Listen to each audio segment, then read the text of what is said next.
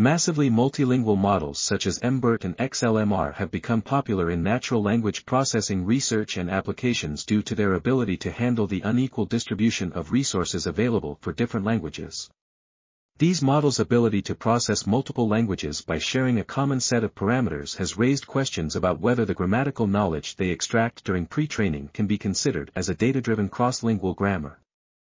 To address this issue, the present study examined the inner workings of MBERT and XLMR to determine if the individual neural units that respond to a specific syntactic phenomenon, namely number agreement, exhibit similar behavior across five languages, English, German, French, Hebrew, and Russian.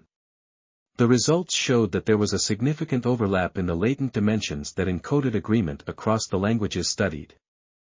This overlap was greater, a, for longer distances than shorter ones and, b, when comparing XLMR with MBERT.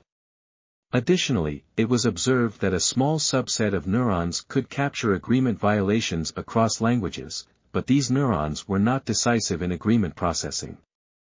This article was authored by Andrea Gregor de Varda and Marco Marelli. We are RTCL.TV, links in the description below.